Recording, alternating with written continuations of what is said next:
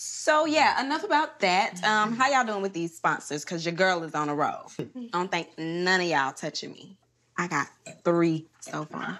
Partly thanks to Lisa. Well, my frat's pitching in 5,000, and I might be able to lock in a few more by the end of the week. Mm, okay. I've been working on it, but you know, I already locked in that venue, so y'all gotta cut me some slack. True. I got one today too. Uh, 10 G's.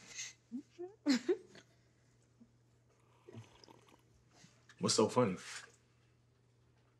You funny, bro. You hilarious, actually. And a bold-faced liar. Yeah, how you figure that? You know dope dealers can't sponsor, right? The money has to be taxable. Wow, so frat boys get a stack from their friends and now they want to flex? Hmm. And those same friends will come whoop your ass. Lisa, you might want to check your man. I think his LBs might be hitting him from the back. Oh, Yeah, wait, you no. Y'all need No, to- for real, uh-uh. we can do it. We can do it. Y'all need to relax. Look, I worked my ass off to get in this fellowship. And I'll be damned if I let a little stupid beef between you two mess that up for me.